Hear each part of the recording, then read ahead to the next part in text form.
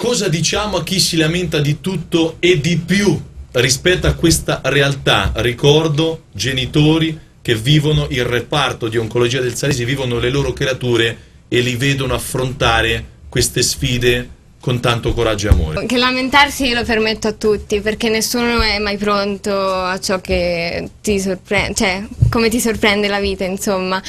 Però Mm, vorrei che tutti mm, nel loro piccolo contribuissero proprio a fare qualcosa per tutti quanti, anche per se stessi, sarebbe proprio un dono e se qualcuno, se ognuno di noi lo imparasse, diciamo che questo mondo sarebbe già migliore secondo me.